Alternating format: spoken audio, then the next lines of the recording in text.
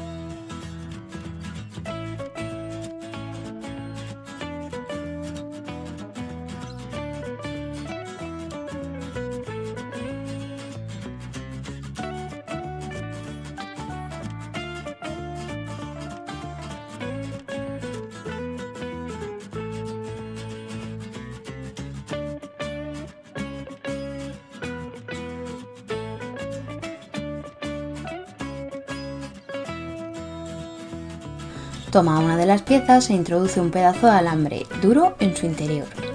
Aplica pegamento primero.